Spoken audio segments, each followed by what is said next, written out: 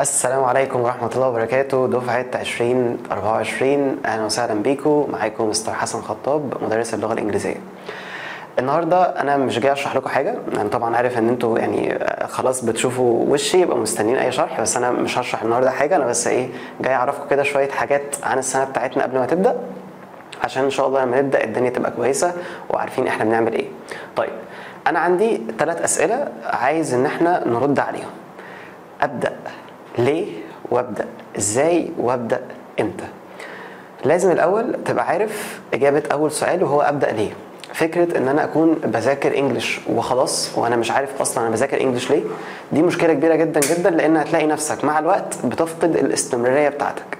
الإنسان عشان يستمر في حاجة لازم إن هو يحاول على قد ما يقدر يبقى عارف هو مستفيد منها إيه.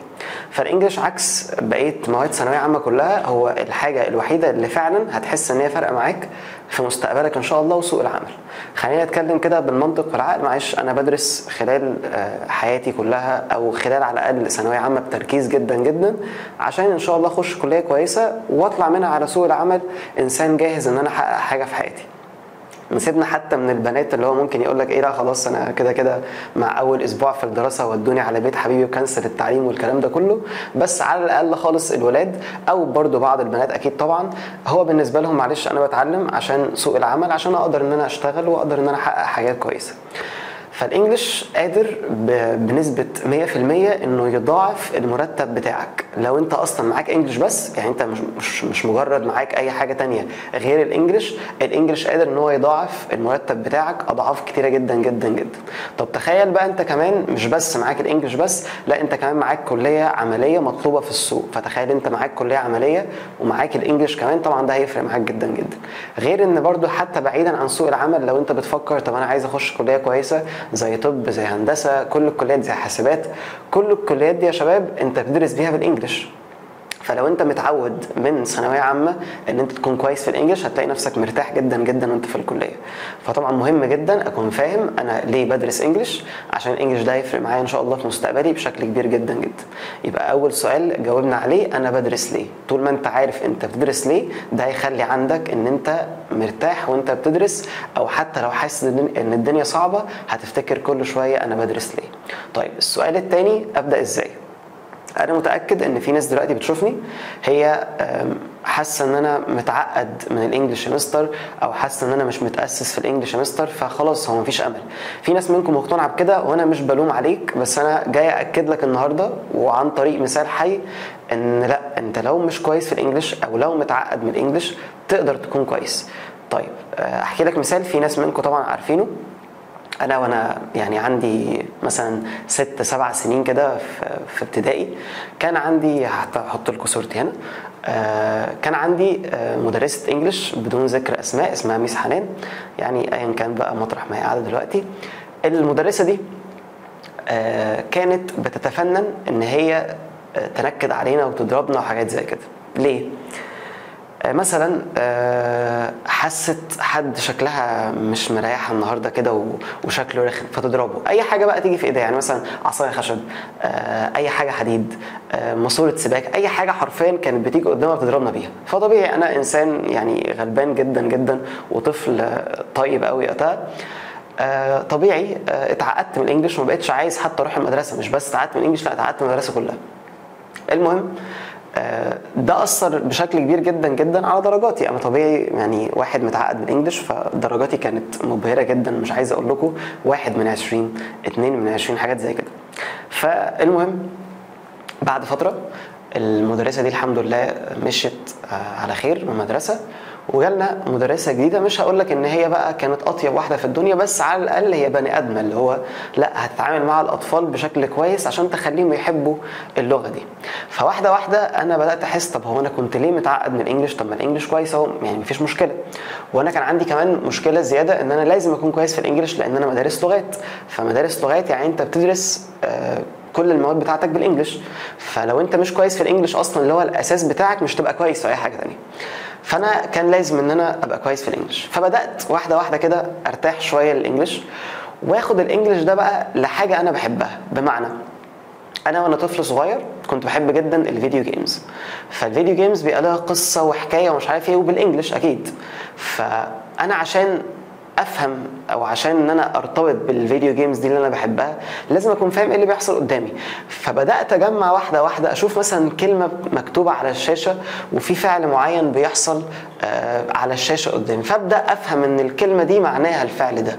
واحدة واحدة ومع الوقت طبعا بقى لما الإنترنت آه يعني بقى منتشر أكتر بدأت مثلا لما أقابل كلمة صعبة شوية في الألعاب اللي أنا بلعبها دي آخد الكلمة دي وأدور على المعنى بتاعها وأعرفها. وعايز أقول لكم والله العظيم أنا لحد دلوقتي فاكر بعض الكلمات من الألعاب اللي كنت بلعبها وأنا صغير. لأن طبيعي أنت حاجة ارتبطت بيها وحاجة أنت بتحبها. مع الوقت برضو ودي حاجة كده على جنب يعني بس أنا كنت وسط بقى قرايبي وإخواتي هم بيسمعوا أغاني عربي فأنا عايز أبان الشخص الروش اللي فيهم. فأسمع أغاني انجلش وأنا حرفيا مش فاهم أي حاجة يعني أنا مش فاهم أصلا إيه اللي بيتقال ده. بس أنا عايز أبان روش. فمثلا أبقى مندمج قوي مع الأغنية وفي الآخر مثلا اغنيه يبقى معناها تعالى نلعب استغمايه فوق السطح أنا مندمج وبغني ومش عارف إيه. فالمهم مع الوقت دخلت برضو على الإنترنت بدأت أدور على كلمات الأغاني دي وأعرف معناها وأفهم عايزه إيه الكلمات دي أو الكلمات دي معناها إيه عشان أستفيد بيها لما أشوفها المنهج بتاعي. ففعلا ده فرق معايا جدا جدا إن أنا أدور على شيء أنا بحبه عشان أربطه بالانجلش فأنا عايزك تدور أنت على أي شيء أنت بتحبه وما تقوليش عينيها اتقي الله عشان السنة لسه بتبدأ اسلك كده عشان السنة تبقى كويسة إن شاء الله. فدور على حاجة أنت بتحبها ايا كانت هي إيه كورة بتحب تتفرج على مسلسلات بتحب تتفرج على كرتون بتحب تتابع مثلا أخبار عالمية أي حاجة تابع الحاجات دي بالانجلش هيفرق جدا جدا جدا معاك. طيب فأنا عايز أقول لك بقى الشخص اللي كان متعقد من الانجليش وكان خايف من الإنجليش ومش متأسس في الإنجليش بقى الطالب المفضل وهو في ثانوية عامة عند مدرسين الإنجليش بتاعته من كتر ما هو شاطر في اللغة دي. وبعد كده دخلت الحمد لله كلية ألسن وطبعا أنا قاعد بشرح لك دلوقتي قدامك. ففكرة إن أنا مش هبقى كويس عشان أنا مش متأسس من زمان أو متعقد من الإنجليش دي شيلها من دماغك لأن ده مش حقيقي وتقدر إن أنت تشيله إن شاء الله. أنا يا مستر يعني بيني وبينك كده أنا ما فيش حاجة بحبها. وارد جدا في ناس منكم دلوقتي ما يبقاش عندها تفضيلات لحاجة معينة فأنا ما فيش حاجة بحبها ومنطفي ومش طايقك أنت شخصيا يا مستر. فانجز وقول لي طريقة مفيدة تفيدني في ال English. بص يا سيدي لو أنت ما بتحبش حاجة معينة فأنا أنسب طريقة تذاكر بيها English هي إنك تهتم جدا جدا بالكلمات. طيب ليه أهتم بالكلمات؟ لأن طبعا أنتوا عارفين في ناس منكم اللي عارفين من الدفعة القديمة أو حتى من آه من خلال دراستهم هم ال English إن امتحان ال English ما بقاش معتمد بشكل أساسي على ال grammar أو القواعد أو كده بقى مهتم جدا جدا بال vocab أو بالكلمات. طيب مستر أنا عندي مشكلة أصلا في حفظ الكلمات. أنا دلوقتي بقى جاي أقول لك حاجة بسيطة جدا جدا تفرق جدا معاك. طيب بص كده معايا يا سيدي. أنا دلوقتي عندي حاجة اسمها short term memory. إيه هي ال short term memory هي الذاكرة قصيرة المدى. وعندي حاجة تانية اسمها long term memory اللي هي إيه يا مستر؟ اللي هي ذاكرة طويلة المدى. طيب مستر معلش فهمني كده بقى عشان أنا مش فاهم قصدك إيه بالظبط.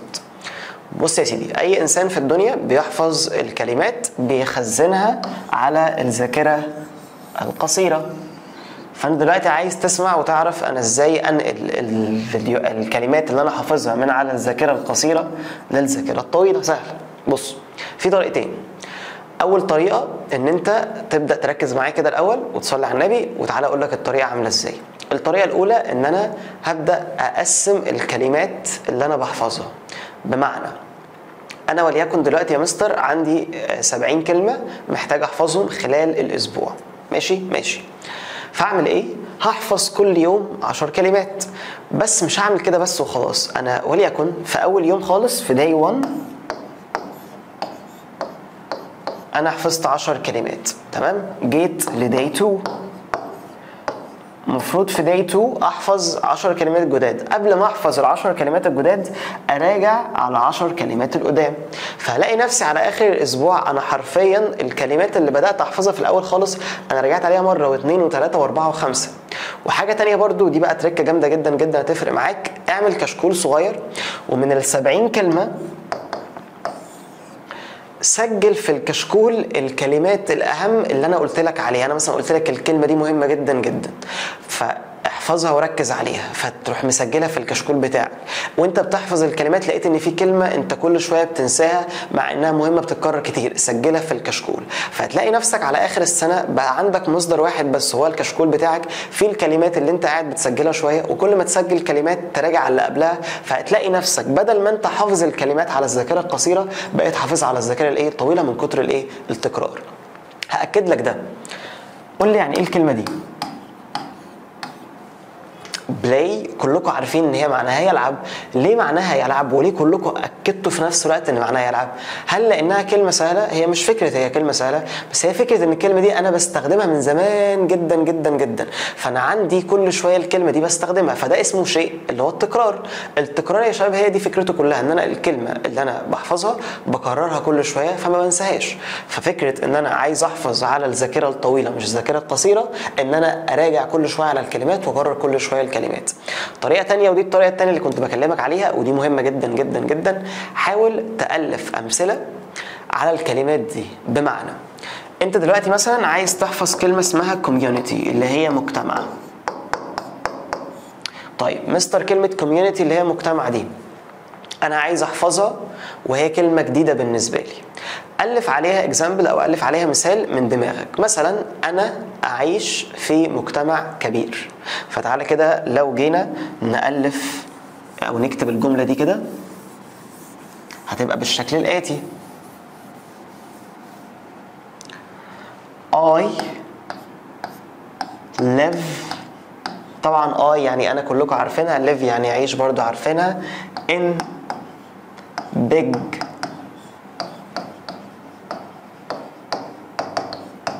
community. طيب أنا عايش في مجتمع كبير. فلو أنت جيت تسترجع الجملة دي انت مثلا دلوقتي في الامتحان وقابلتك كلمة community تمام؟ فهتفتكر بشكل لا إرادي عقلك هيبدأ إن هو يشتغل ويفتكر. هيقول آه كلمة community دي أنا كنت ألفت عنها جملة قبل كده كانت بتقول أنا أعيش في مجتمع كبير. فيبدأ يحلل ويقول آه أنا دي يعني I لا مش هي. يعيش يعني live مش هي. in يعني في مش هي. big يعني كبير مش هي. آه يبقى أنا باقي لي كلمة community يبقى كلمة community هي اللي معناها إيه يا شباب مجتمع؟ أنت تتخيل دي خطوات كتيرة جدا جدا عقلك هيعملها في وقت كبير بس عايز أقول لك الخطوات دي لو أنت استمريت عليها حرفيا مش هتاخد معاك ثواني وهتلاقي نفسك استرجعت الكلمة اللي أنت محتاجها. فدي الخطوة التانية ودي الحاجة التانية اللي كنت بقولك عليها في حفظ الكلمات. غير بقى كل الكلام ده أنا أصلا إن شاء الله إن شاء الله لما المنهج بتاعنا بيبدأ وفي ناس منكم عارفين ده الحمد لله أنا في حصة الكلمات مش بقعد أقرأ معاك الكلمات بس من الكتاب بتاعنا أو مش بقعد إن أنا أقول لك الكلمات دي مهمة أحفظها وخلاص على كده لا أنا بحكي لك قصة فيها الكلمات بتاعتنا. فده بيخليك وانت خارج من الحصة إن شاء الله إن شاء الله حافظ الكلمات ومش محتاج غير إنك يا دوب تروح البيت تراجع عليها مراجعة سريعة وتثبت في دماغك. ليه ثبتت في دماغك؟ لأن زي ما قلت لك أنا حكيت لك قصة فيها الكلمات. فدايما تقعد تفتكر آه المستر كان شرح الكلمة دي لما كان بيشرح الجزء الفلاني في القصة. فده هيخليني طبعا أفتكر الإيه؟ الكلمات بسهولة. فإن شاء الله أنت دلوقتي معاك ثلاث طرق. الطريقة الأولى زي ما قلنا نكرر الكلمات. تاني طريقة إن أنا إن شاء الله إن شاء الله أكون أه بحاول ألف جمل لنفسي. وتالت طريقة ودي إن شاء الله هتبقى في الحصص بتاعتنا إن أنا أعمل إيه يا مستر؟ إن أنا أكون بتابع القصة اللي المستر بيشرحها في الكلمات عشان أحفظ الكلمات بتاعتي.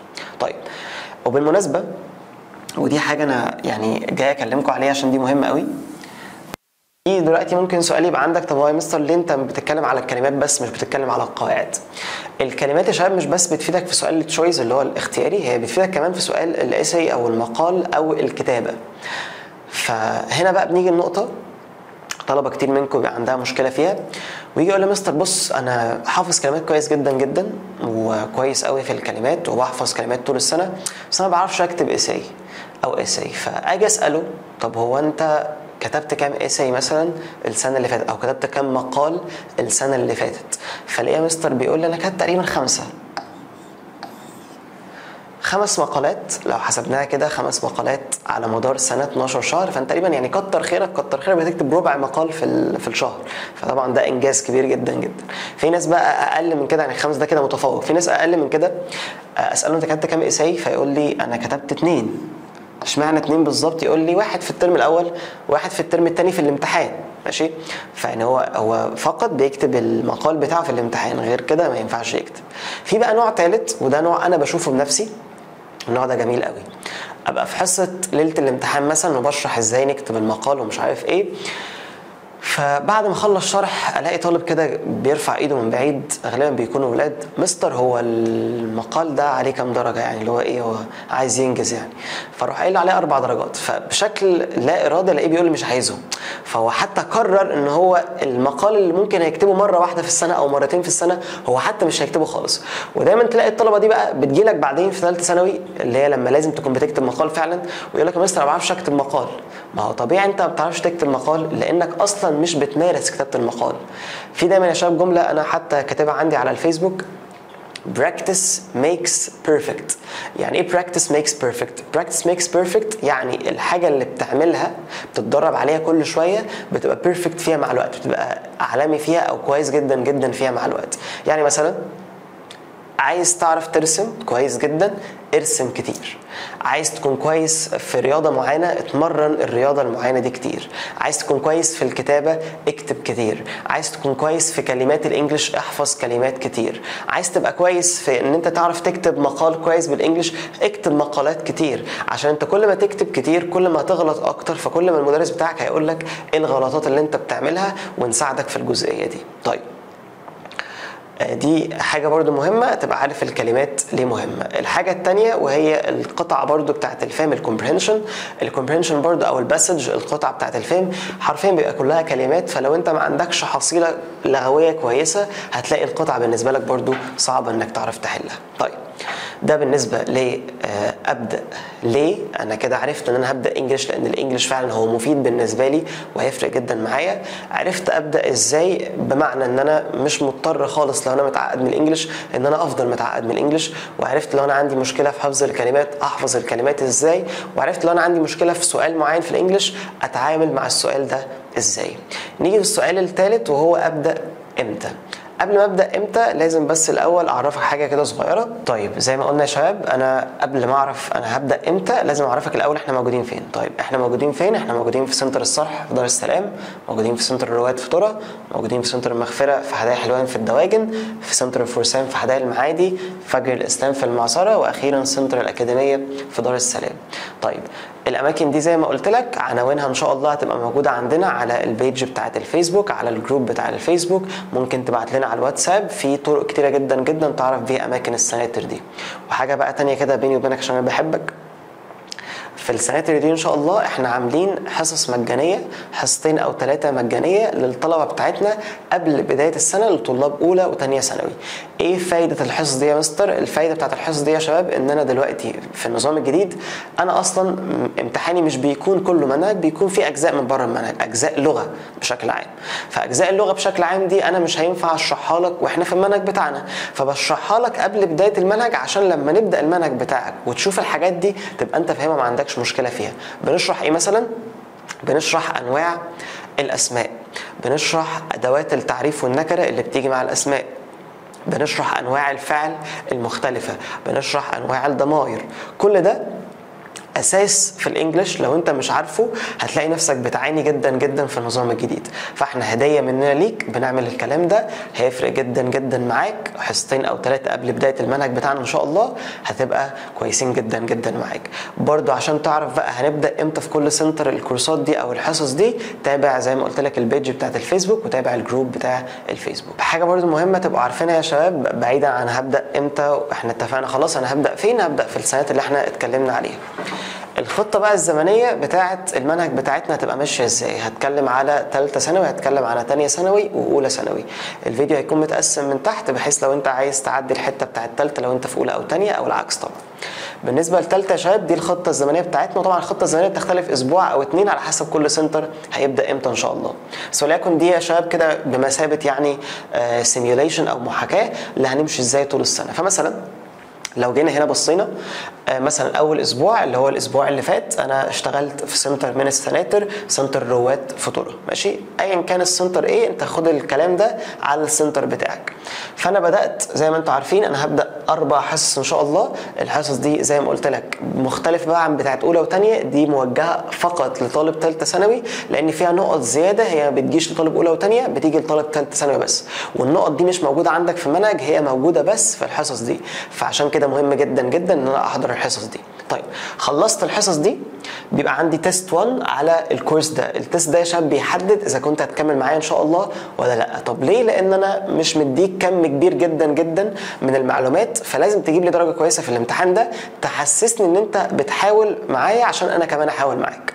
فإن شاء الله بعد ما نخلص هيبقى في test هنحدد الميعاد بتاعه سوا على حسب كل سنتر بعد كده هنبدأ unit 1 part 1 بعد كده unit 2 part 2 أنا مقسم أي unit عندنا في المنهج بتاعنا ل two parts زي ما أنتم عارفين. الجزء الأول بيكون بتاع ال grammar أو القواعد والجزء الثاني بيكون بتاع الكلمات. طيب بنكمل بعد كده unit 2 بعد كده ال novel الرواية بتاعتنا لأن الرواية بتجي لنا في الامتحان عكس أولى وثانيه بشرح مثلا chapter 1 و chapter 2 هي رواية سهلة بالمناسبة مش صعبة يعني.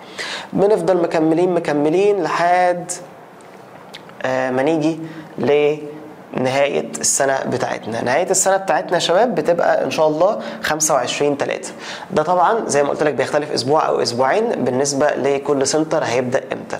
طب بعد 25 3 خلال شهر 4 أو شهر 5 بنشتغل المراجعات بتاعتنا وقتها هيبقى ليها خطة زمنية مختلفة وكل الكلام ده. لو أخدتوا بالكم أنا بعد كل 3 units بعد كل 3 وحدات و2 chapters بيبقى عندنا امتحان كبير. الامتحان ده برضو بيتحدد التاريخ بتاعه. كل سنتر هياخد ورقة زي كده خاصة بالسنتر بتاعه بحيث يبقى هو عارف أنا ماشي إزاي وإيه اللي هيتشرح لي الأسبوع اللي جاي وإيه اللي اتشرح لي وأنا امتحاني إمتى والحاجات دي كلها. طيب. بعد كده دي كده بالنسبة لخطة ثالثه ثانوي. خطة ثانية ثانوي أولى ثانوي هم شبه بعض. لأن أنا محتاج المنهج بتاع ثالثه ثانوي بتاع ثانية ثانوي واولى ثانوي بالظبط 13 حصة.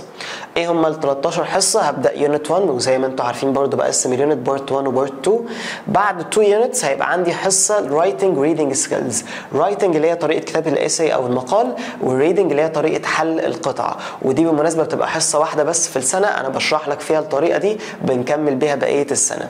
بعد الحصة دي هشرح لك unit 3 وهيبقى عندنا امتحان على نص المنهج. بعد امتحان نص المنهج بنكمل نص المنهج التاني وفي الآخر بيبقى عندنا الامتحان بتاع نص المنهج التاني.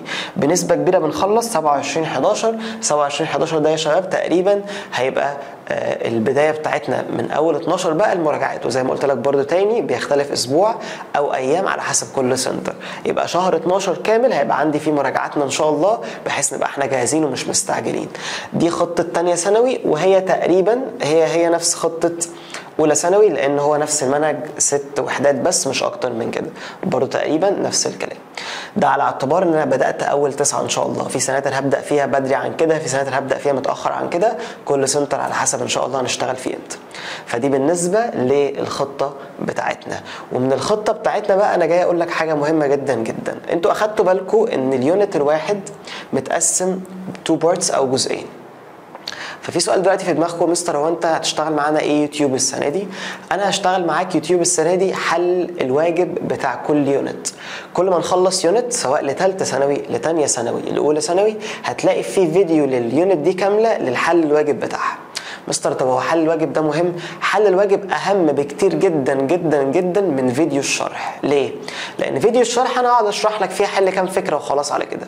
لكن حل الواجب أنا طبيعي أوتوماتيك. وأنا بحل لك السؤال لازم أشرحه لك. فيبقى أنا بحل معاك أفكار مختلفة وبشرح لك كمان أفكار مختلفة. فبنسبة كبيرة إن شاء الله إن شاء الله بدون مقاطعة كده دعونا ربنا يوفقنا إن شاء الله. هيبقى بشكل آه، أسبوعي أو كل أسبوعين لما نخلص ال unit هيبقى عندنا فيديو لأولى ثانوي فيديو فيديو لتانية ثانوي وفيديو لتالتة ثانوي. الفيديوهات دي هيبقى فيها حل الواجب كامل وهيبقى في فيديو إن شاء الله رابع. الفيديو الرابع ده هيبقى لامم النقط المهمة في unit 1 كشرح.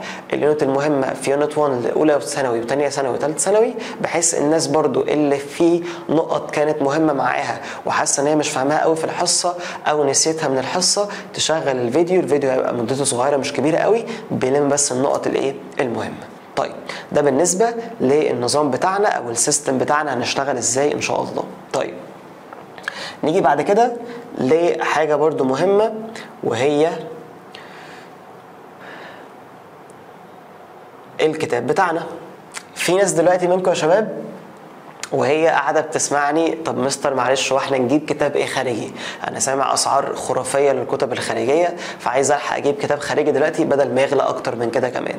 أنا ما بشتغلش من كتاب خارجي لأسباب كتيرة. أول سبب منهم إن أنا كده بحط نفسي في مصدر واحد بس. أنا بحب إن أنا أشتغل من الكتاب بتاعي عشان أول حاجة طريقة الشرح بتكون مختلفة. أنا بشرح لك في الكتاب بتاعي بالعامية فبتحس وأنت قاعد في البيت إن أنا أصلا قاعد بشرح لك معاك. تاني حاجة إن أنا بحط أسئلة من مصادر مختلفة من كتاب المدرسة بتاعتك من المنصات المختلفة اللي على الإنترنت من حتى بنك المعرفة بتاع الأسئلة ومن الكتب الخارجية المختلفة بدل ما التزم بكتاب خارجي واحد. فده إن شاء الله الكتاب بتاعنا شايف الحلاوة والجمال. يعني الكتاب من كتر ما هو حلو أنا هجيب نسخة منه في البيت. بفكر أعمل الألوان دي عندي في في الشقة بتاعتي. فده الكتاب بتاعنا ده الغلاف بتاعه. ماشي؟ ودي الصفحة بتاعتنا من جوه إن شاء الله هيبقى بالشكل الآتي. فان شاء الله ده هيبقى الكتاب بتاعنا. طب هيبقى متوفر إمتى في السناتر هيبقى متوفر مع التزامن لبداية المنهج. يعني أنا هبدأ مثلا unit 1 في المنهج إن شاء الله فهتلاقي الكتاب موجود في ال center فكده يا شباب زي ما إحنا اتكلمنا أنا اتكلمت معاكم ليه نبدأ ال English إزاي نبدأ ال English وإمتى نبدأ الإنجليش.